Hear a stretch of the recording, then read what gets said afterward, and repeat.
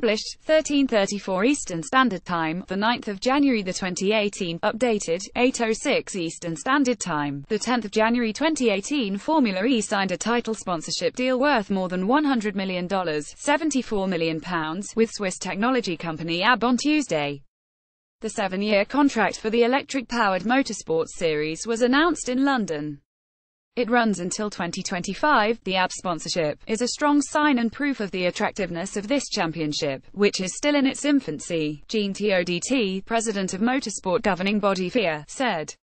Formula E confirmed a title sponsorship deal with Swiss technology company ABB on Tuesday. The deal, worth more than £73.93 million, was announced at the Saatchi Gallery on Tuesday. Formula E chief executive Alejandro Agag hailed an historic day for the series he founded in 2014. Agag told CNN Sport, This is probably the biggest announcement that Formula E has made ever. We share the same goals.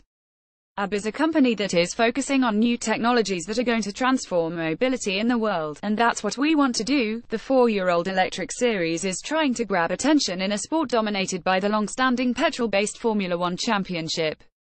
Although the cars are quieter compared to the ear-splitting, fuel-guzzling engines in F1, Formula E touts its environmentally friendly qualities and accessibility to fans.